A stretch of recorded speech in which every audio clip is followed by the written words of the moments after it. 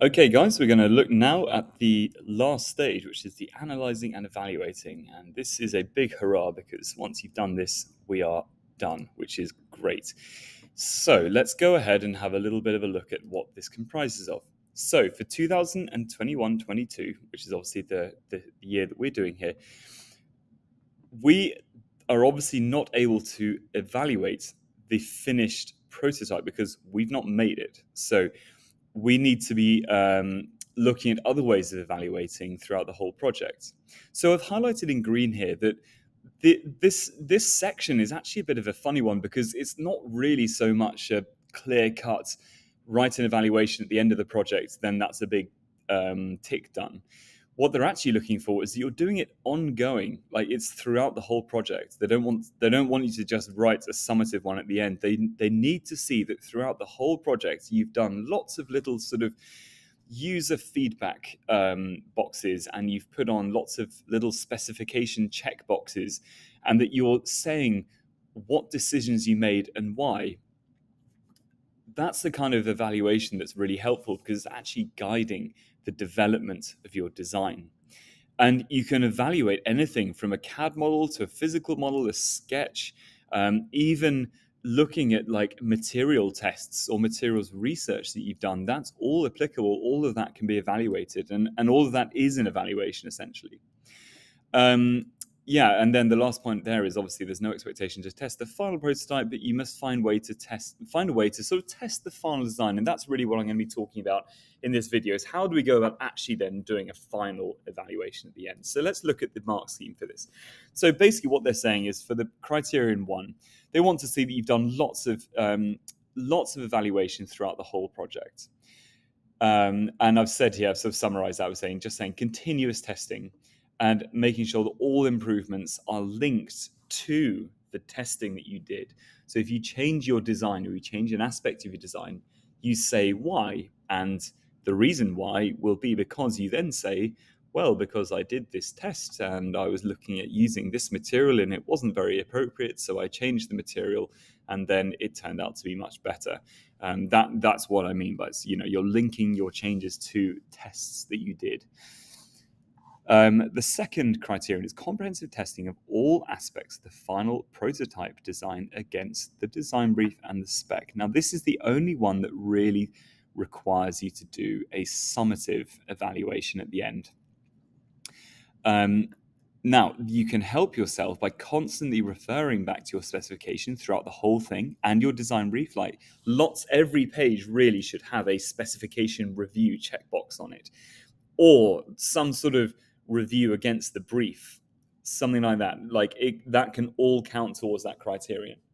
Then the last one is excellent ongoing analysis and evaluation. Yeah, so again, it's just continuous and ongoing analysis and evaluation. So the way we're reading into this is that it really is that they're actually really wanting to see, they're more bothered actually about seeing continuous evaluation rather than just one big summative one at the end. So what I'm going to suggest for our section F is you can have, I would say though, there's should be really like um, two mandatory pages. I'm actually going to call this user testing um, interview. Now, user review actually would be a more appropriate name for that because we can't really test it, but you can review it. So what this would look like would be you sitting down with your with your client and then showing them the final design. So that might be some renderings or something like that, and and showing them like and ex- and talking them through how the design will work, and then that will give you some outcomes from there. After that, you then do what's called an analysis against the specification. This is a very, very simple document. Now I'm going to show you on the AQA provided example here. This student finishes their manufacturing section just by showing like yeah, there's there's the finished product, and they've finished the whole thing there.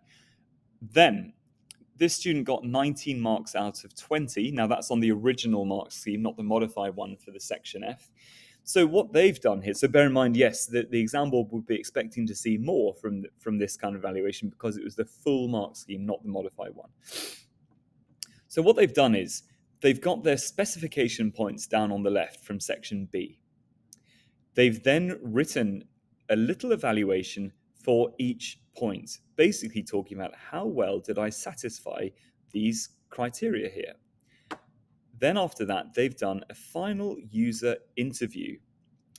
And this is great. Like, it, I mean, it's not particularly extensive, but it's all it needs to be. It's just you're basically just talking through with, with your with say two users or yeah, um, they, I mean they've done a client and a user, which arguably is the same thing. So let's just say they've done two user interviews here, and really with the purpose of this is they're just getting feedback on it and they're just seeing what was good and what wasn't so good. So that's what I'm talking about when I'm saying the mandatory pages. So it's really two pages that we need to have.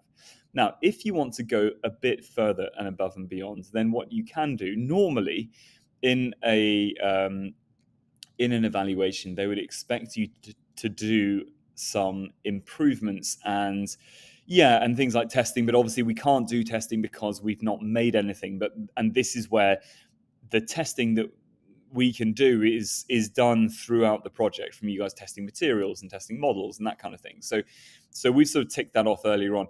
So improvements now these can just be little sketches where you're just sort of you could you could do what this student's done where they've just got photographs and they've sketched over the top and they've obviously sketched on here a little dimmable switch to go into the cable and they've drawn like book on top. Um, and and that's that's fine. It's just showing that you've that you've taken what the clients have said and you've then done something about it. Like you've taken some action upon it and you've then looked at it and gone oh, okay well i could maybe just modify this or add this little bit on or it doesn't have to be you're not doing radically different um, whole cad renderings or something Although, mind you, CAD rendering is a very easy way to show an improvement because you can just change a material or something, or you can add a tiny feature to it, re-render it, and then just say that's you know change the design.